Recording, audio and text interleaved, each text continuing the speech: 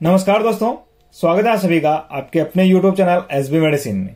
आज अपन बात करेंगे नोवा स्टेट गोल्ड 20 एम कैप्सूल के बारे में।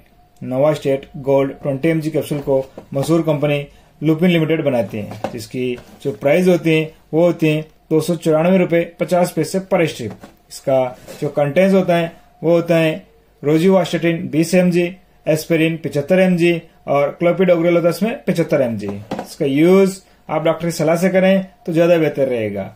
ये कैप्सूल आपको डॉक्टर के प्रिस्क्राइब पे सभी मेडिकल स्टोर पे मिल जाएगा।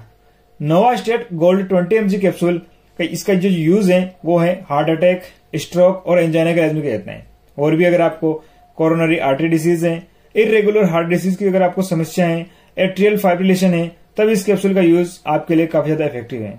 आपको हार्ट से रिलेटेड किसी भी तरह की समस्या है, जैसे हार्ट फेल्यूर वाली कंडीशन बन रही है खून का थक्का जमने की कोई समस्या है पेरीफेरल वस्कुलर डिसीज है, या आपको हाई कोलेस्ट्रॉल की समस्या है, तब भी इस कैप्सूल का यूज़ आपके कोलेस्ट्रॉल के लेवल को बैलेंस में बनाए रखने में हेल्प करता है। इस कैप्सूल में होने वाला एस्पिरिन और क्लोपिडोग्रल एक एंटी प्लेटलेट मेडिसिन है, ये प्लेटलेट को आपस में चिपकने से रोकता है और आपके लिए हार्मफुल जो ब्लड क्लोटिंग होते हैं, उसको कम करते हैं।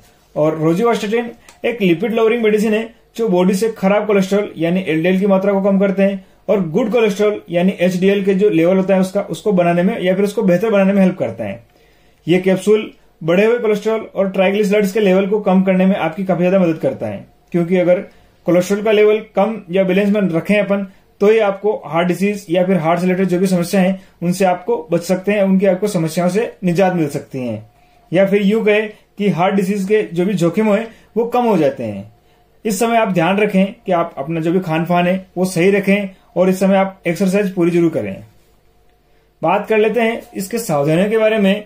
तो अगर आपको लिवर डिसीज है किडनी डिसीज है, या फिर कोई प्रेग्नेंट लेडी या ब्रेस्ट मदर है, तब ऐसी सभी कंडीशंस में इसका यूज़ करने से पहले आप डॉक्टर्स को अपने कंडीशंस के बारे में ज़रूर बताएँ। उसके बाद आप इसका यूज़ करें तो ज़्यादा ठीक रहेगा। और भी इसके यूज़ के समय आपको एल्कोहल को अवॉइड करना है। बात कर लेते हैं इसके डोज के बारे में।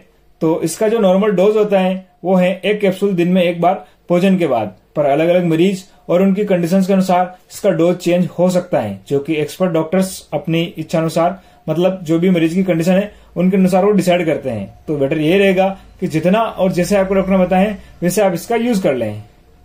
जान लेते हैं इसके होने वाले साइड इफ़ेक्ट के बारे में। तो इसके जो कॉमन साइड इफ़ेक्ट आपको नज़र आ सकते हैं, वो है इंक्रीज ब्लीडिंग टेंडेंसी पेट दर्द होना खट्टी डकार आना नाक से खून आना, दस्त लगना और उल्टी जी घबराने की प्रॉब्लम आपको नज़र आ सकती हैं। विशेष साइड इफ़ेक्ट कुछ टाइम को लेते हैं, कुछ टाइम बाद अपने आप ठीक हो जाते हैं। हाँ अगर आपको इनके अलावा कोई भी अदर कंडीशन क्रिएट होती है, या फिर यही साइड इफ़ेक्ट लंबे टाइम तक बने रहते हैं, तब ऐसे में आप इसका यूज़ बंद करके तुरंत अपने डॉक्टर से कंसल्ट कर सकते हैं। तो फ्रेंड्स उम्मीद है आपको ये वीडियो ज़रूर पसंद आया होगा। अगर वीडियो अच्छा लगा है तो लाइक करें कमेंट करें शेयर करें और चैनल को सब्सक्राइब करना ना भूलें। Thank you